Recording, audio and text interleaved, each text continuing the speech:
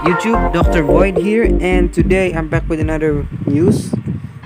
Oh, so right now, the the Blood Disco Marathon just finished, and right now we have the Halloween candy in Monsterwood. This means you can get Halloween candies in Monsterwood. Collector's breeding, you can get 250 maze coins for this. If you do, if but if you don't get the right monster or the right result, you'll only get 75 maze coins. Alright, so here are the combinations. So this is light, oh this is Barrow Pop right here. Alright, let me show you guys the picture right over there. And the breeding event has already started. So here we have a new monster, Binksen. So this looks like a Chinese or Japanese seahorse dragon breed thingy and it looks like it's fire. So finally we're getting another fire cosmic. And here if we take a look at this shop we see this coming soon which is the cosmic generations. So um comment down below what you guys think for the cosmic generations shop. It's coming soon. It's gonna be a new feature. Here is Lightmare. The maze is going ongoing right now with three legendaries, no epics, just legendaries and Lightmare, the cosmic himself.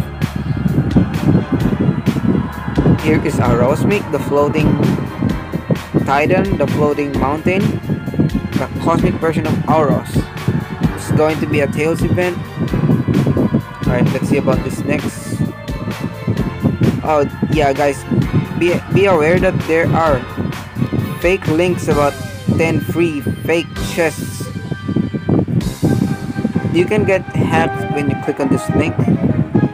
So be careful guys. Here we have another new monster. Targon. It's a nature monster. It looks like it's going to be a tank or an attacker or a hybrid of tank and attacker. Cosmic Mythic, this guy's new. Here is Varopapo's um, stats, the cost, the mana cost, the cooldown.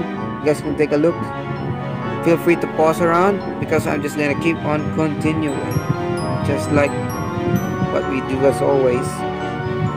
Applies here the same to Lightmare. Feel free to pause around to look at his stats. And we have Meet the Aerosmic, the Earth Tank who features very own till next week. He starts up a taunt at every start of the battle. At rank 0 is taunt, at rank 1 it becomes mountain, at rank 3 it becomes abomination, meaning immunity to nightmares, bleed, and such things. To give himself a plenty of control immunity, he can give himself full 100% shield and damage protection, and as well as skill mirror, damage boost, and damage mirror and life regen. Start collecting skulls. Here is just sneak peek for Gretchen, just her um, description.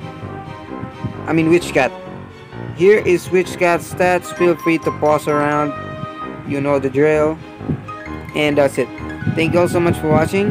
This is a 250 subs special video. Thank you so much guys for giving me 250 subs. Thank you for all the support that you gave me. And I hope you all enjoyed. Don't forget to join my Discord for a personal look on these sneak peeks. Alright, goodbye guys.